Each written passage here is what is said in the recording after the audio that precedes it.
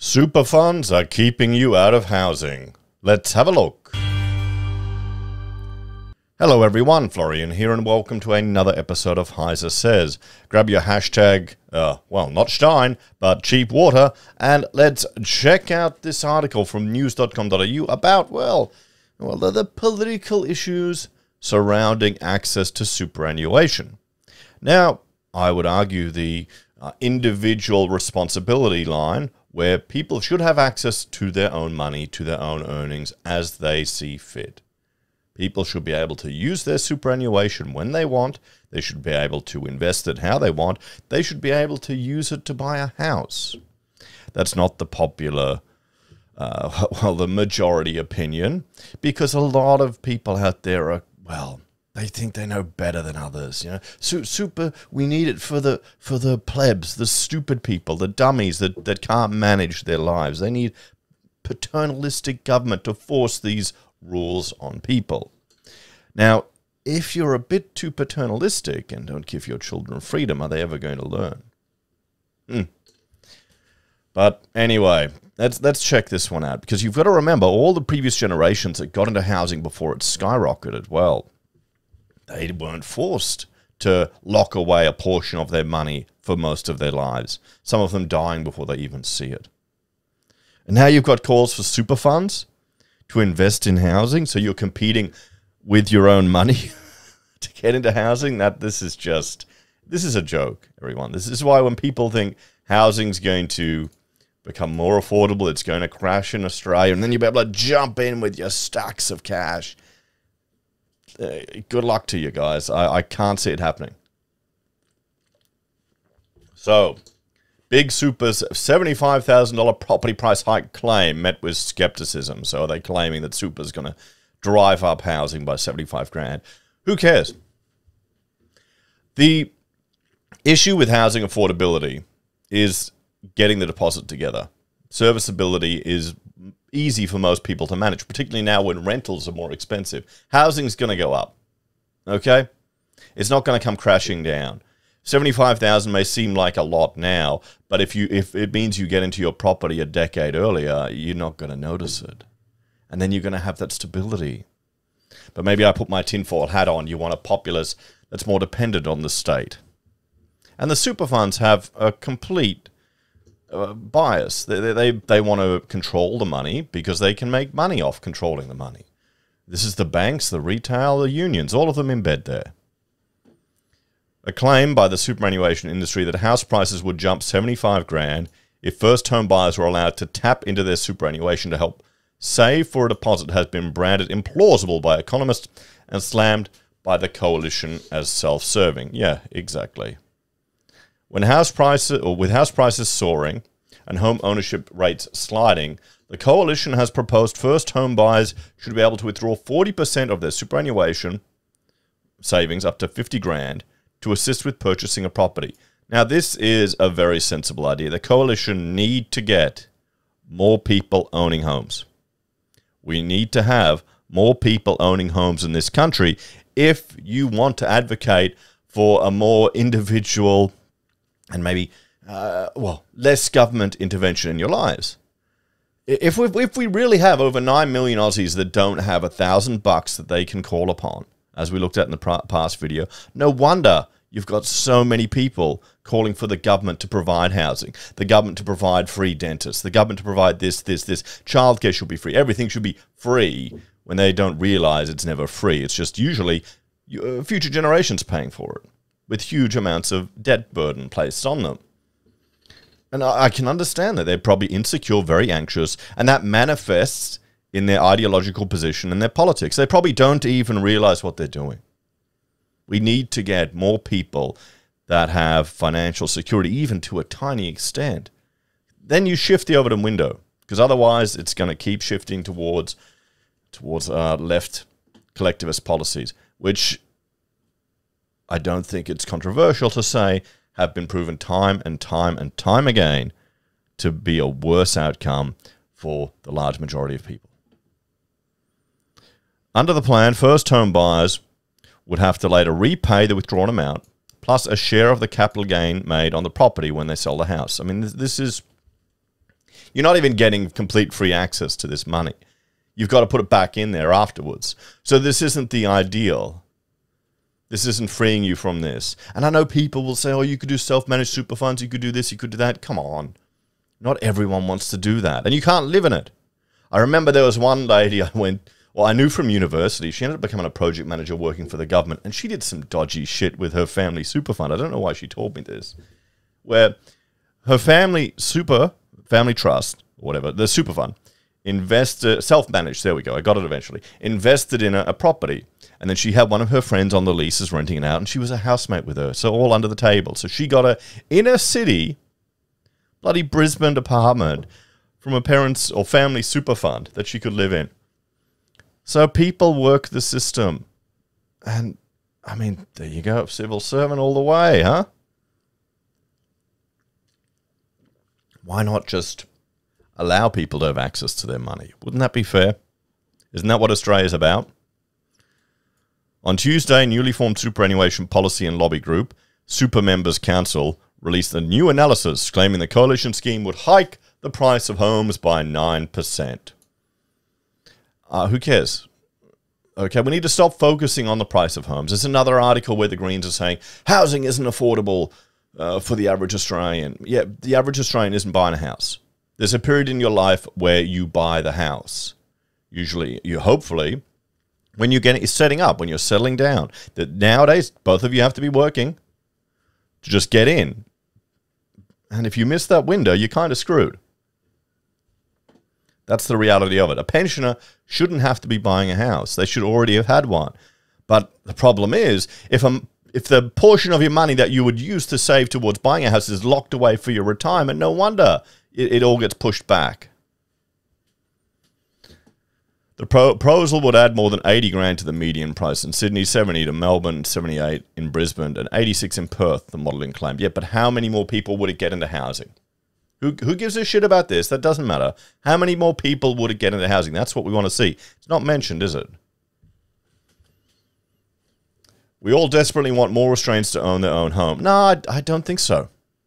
I do not think so, honestly. I think that's a bunch of rhetoric that people are spewing – and it's bullshit. No, most people don't. They, they want to keep keep a you know a, a renting class there because so many people want to be landlords. Uh, freshly minted coalition assistant minister for housing ownership Andrew Bragg rubbished the SMC's report, arguing that funds were acting in their own interests rather than that of their members. Yeah, of course they are. There's no competition. Sure, you can move to one fund to the other. Whoop de doo. But you're forced to pay into it you're forced to use this system. You're forced to pay them fees. They've got so if you compare just a an ETF that pays you a dividend or distribution every month, and what what what have, what have I got? You know, SYI I'm in now, latest one I bought, 0.2 percent management fee or something. Nothing. Compare that to a super fund. Super fund, it's essentially the same bloody product, but they've got all these other regulations and fees and bullshit on top of it, so it costs more. What if you had complete access to your own funds? Would you have it sitting in a super fund or would you chuck it on, on a exchange managed fee? Now, the one advantage of super is the tax dodge you can do. You can save on tax to get in there. That's, that's the only reason. Uh, super Member Council's analysis is a desperate self serving scare campaign against super for housing. Big Super wants to keep our super under lock and key so they can charge 30 billion in fees a year it is like putting Dracula in charge of the blood bank. Brendan Coates, who heads economic policy at independent think tank the Grattan Institute, labelled the SMC's figures implausible. Now let's just uh, look at a little bit about the Grattan Institute here. We'll bring up their data sheet I've got. They're a think tank, high quality public policy recommendations for Australia's future. And while they are independent, I'd say they are pretty much establishment. You know, proudly advocated for hard lockdowns and they received government and large corporation funding. So just, just bear that in mind when you see them mentioned in articles and policies they put forward or research. So, but here they're saying the SMC's figures are implausible. Granted, the relatively small amount many young Australians have accrued in their superannuation savings. So don't even bother. Don't even bother. Or uh, the argument that it's going to send housing skyrocketing is, is facetious. Very few people in their 20s and 30s even have 50 grand in super, he said. According to the ATO data, the average account balance for a 30 to 40 year old male is 56 grand. The average female is 46,000. So if you combine that together, together everyone, that's 100 grand. If you could get into your house at 30 with a 100 grand deposit rather than having to wait a few more years, or even if you can get in earlier in your 20s, in the long run, that's going to be better. What, what, what do we want? We want people stability. We want people owning homes. We want people to be financially independent. Or maybe, maybe when I say we, I'm talking for a minority. Therefore, the maximum amount an average male or female of this cohort could receive under the policy is 22 grand or 18 grand. So 50 grand. Because forget the fantasy about linking housing affordability to average income or average wages. You need two people working now. If you don't like that, tough. That that's that the boat has sailed about one uh, one income households. They're a rarity. That's a luxury. Most people aren't going to make the sacrifices and lower the quality of life to achieve that or earn enough to be able to afford that. Most of us, we need to have two people working. That's the new norm. That's 50 grand a couple could have. A young couple starting on their life could have that extra money to get into a house. Previous generations didn't have super sucking that all away and locking it away. Maybe even they'll die before they even see it. I'd be very surprised if the price effect was as large as the Super Members Council is implying because that would be implying that compulsory super itself is suppressing house prices to the tune of 20 or 25%. Mr. Coates said, Oh boy, I'm, I mean, the Center for Independent Studies, and this is another organization. Let me just bring up their slide here. Now, the CIS are a classical liberal think tank.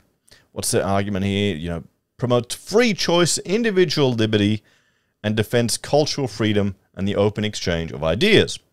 Now, as opposed to the, the Grattan Institute, they don't get government funding. They don't get big corporate funding, at least that we know about, but they get, they're privately funded. You can join them. So, hashtag not sponsored. So, their, their chief economist, Peter Tulip, also pulled cold water in the SMC's analysis, but was skeptical that the coalition's policies would significantly bolster home ownership rates. Policy changes like this do not figure as major determinants of housing prices, he said. But does that impact home ownership? If this was coupled with a boost to supply, then maybe you would have the advantageous effect that the coalition is talking about without an adverse effect on affordability. Mr. Coates added that those who needed the greatest assistance to own their own home would receive little benefit from early access to their superannuation. The beneficiaries of the policy are likely to be middle and high income earners who can buy better homes as a result of being able to access their superannuation. And then the, the homes that they wouldn't buy are going to be accessible for other people. I don't think it'll shift the needle much for low income earners.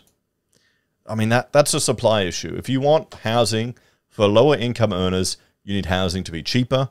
You need to reduce the onerous requirements we have on housing all the time, and we need to increase supply. I mean, it's it's. Let me let me bring up um, one of my what is it? The slide deck I have here on pillars of the housing market. Okay, we'll bring this up here because there's a few of them that I'd like to discuss.